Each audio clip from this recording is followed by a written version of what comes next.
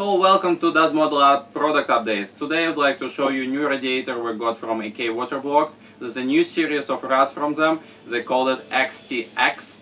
It's extra thick rods that look like a little bit like a monster by the size. TFC Monstas that we had a couple years ago. And um, I think what EK tried to do here, uh, probably they tried to aim at RX 360 series from XSPC. So what I have here, I have both radiators in front of me. I would like to unpack them and show you side by side so you have some idea what those two radiators is about visually. So uh, when you make a choice, at least you have some idea what you're getting into.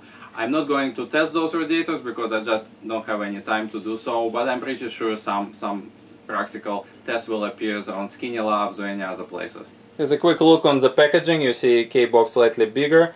Uh, by the specs, it's supposed to be a couple millimeters taller than um, RX uh, series and box also a little bit wider. I don't know why is that, but let's look inside and we'll uh, compare two radiators uh, on side by side. You see that the sizing is pretty much the same. EK is about 2 millimeter thicker. Other than that, they're identical in size, both triple. The difference is that uh, you notice right away is the fin density on the EK radiator is higher. So you can see it here if I turn it. More fins on the EK stuff. Finish on the EK is uh, shiny, while XSPC is a more matte color. Make any difference? Another difference that I see here is that uh, an XSPC will have only two ports. On EK we have uh, four ports so you can connect from both sides if you need to. Make any difference for you. And also they have a big um, draining plug quarter G here.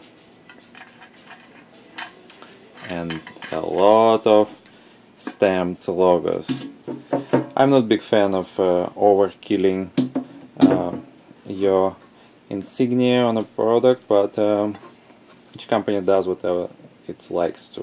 So, these two products very similar, so I assume that uh, some people have to choose between one of two.